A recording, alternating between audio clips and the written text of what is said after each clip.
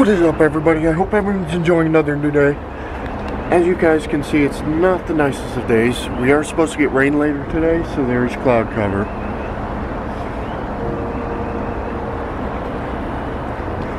And uh, something I'd like to say to you in the next clip. Basically guys, I just got a mess I just noticed a message from Robbie with uh, some posts of someone trying to claim the Buick 3800 was the best engine ever. Reality of it is, best engines ever made. American, the best American engines ever made are the LS engines. I'll say that now. Those engines don't, you can put a, you can put a huge amount of power in those things and they won't break just make sure you put supporting mods on them. Those engines just straight up work.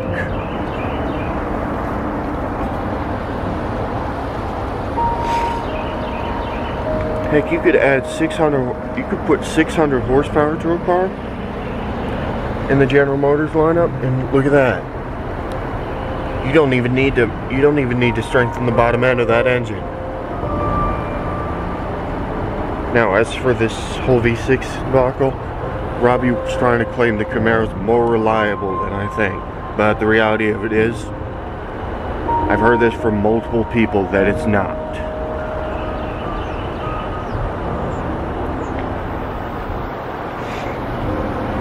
It's not about what the internet says. It's about how people view it. The internet just they only advertise things the way the company wants it advertised.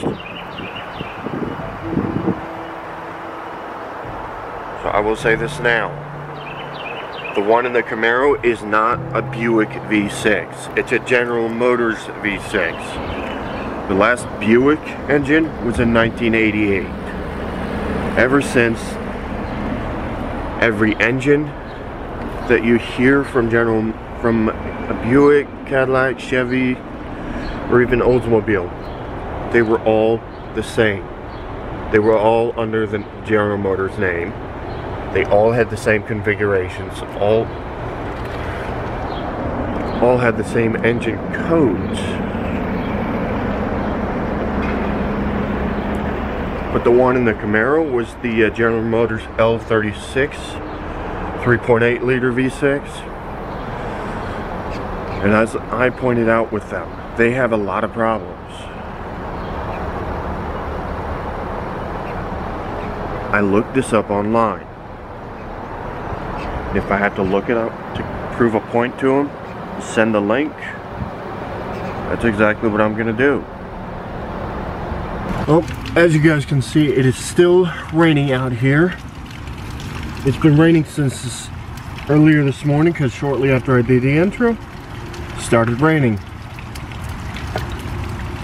And I'm not exactly surprised. I mean, look at that over there.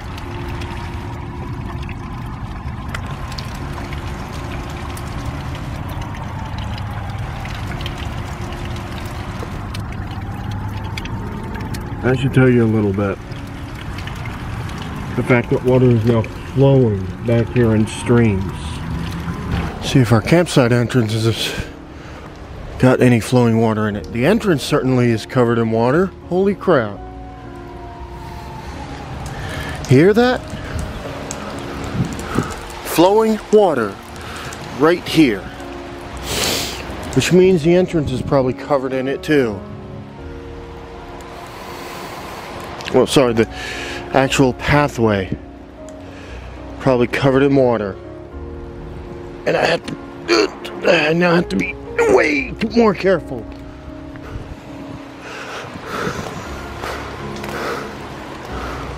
Wait, seriously? I'm not seeing any signs of flowing water on the path. Just the entrance. What the heck? Whoa! Yep.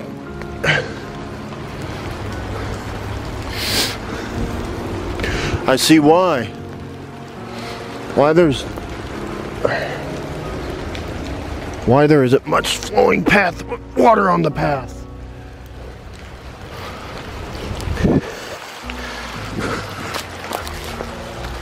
Uh, look at that. Good majority of it's blocked.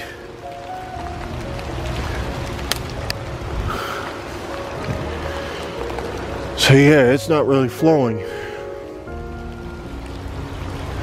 That got us on the lucky side of the street. However, we need to check the campsite too, make sure that isn't flooded.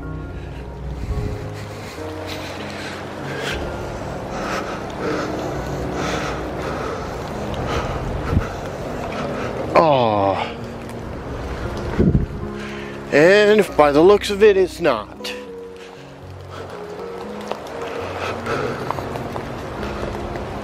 We're safe. We got lucky.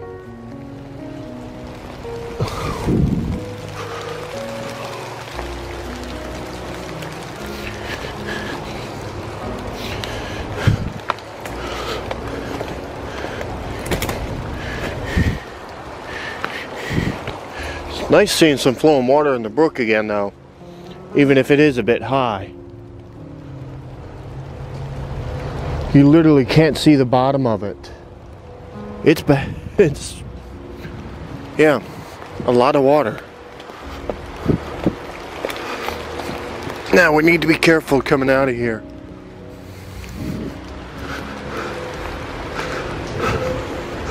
At some point, guys, I'm going to be doing another haunted video.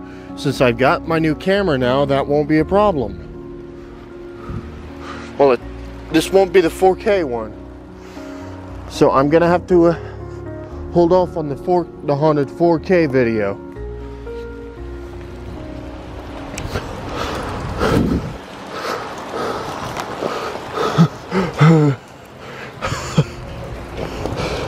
I've got to be extremely careful right here.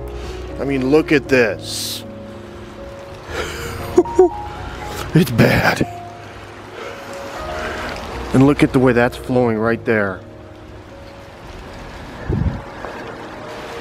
A massive puddle in there inside of Chesterfield Trading Company.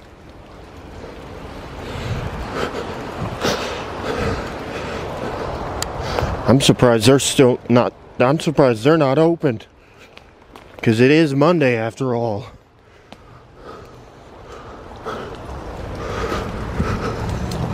Now I have to be careful coming out of here. Look at that. I had to walk through that. and I was not happy, as you guys no doubt heard.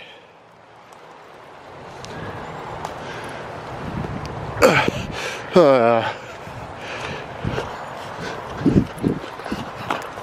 best shoes, best pair of shoes I've ever gotten, and they're now soaked. As is my camera. Have to admit, that was quite a burp I just had. And no, guys, I'm not to get it on camera because I didn't record it with anything. So yeah, it's cold out here. Funny thing is, because the way the skies are looking right now, you can see a lot more than you usually can. Just nowhere near as much as you'd be able to see with the moon showing its showing its face. Oh, that's my footprints. I forgot about this. That entire section of the sidewalk being soaked. But yeah. I gotta work at 11 a.m. tomorrow, so yeah, don't expect a whole lot of fanfare in my video. What I'm basically to do is I'm to check what time I'm supposed to clock out. And I will let you guys know at the moment that I clock out. Alright? And what the... Okay, the sky looks really dark right there. Not a good look.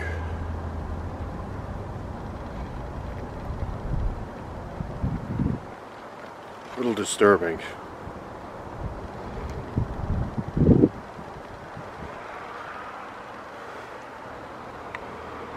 Yeah, as you guys saw, my entire, basically only a part of the path was flooded. The one to my campsite, and surprisingly, it was even less than half. It's usually about half of it that's flooded. That actually surprised me. Anyways, guys, I have to let you guys go here, so. let's go ahead and roll the outro. Well guys, that should about do it for this video. So as always, go ahead and smash like, that like button if you have, if you enjoyed it. Go ahead and subscribe to my channel if you haven't already. And uh, also guys, I would like you to check out my other channels. Go ahead and subscribe there. If you haven't already, go ahead and check out my social media. Follow me on Instagram, Twitter, and even friend send me a friend request on Facebook. Links are in the description below. And uh, yeah, if you, go ahead and subscribe to Robbie's channel if you want. As I also have the link to his channel in the description below. Uh, I would also like you guys to know that I am a freelancer on Fiverr.com. So if you guys would like to see what I do there, the link to my seller profile is also in the description below. Go ahead and check out my referral links for EpidemicSound.com, SoundJ, and Amazon Prime. But anyways, guys, I hope you enjoyed your day, and I'll see you next video.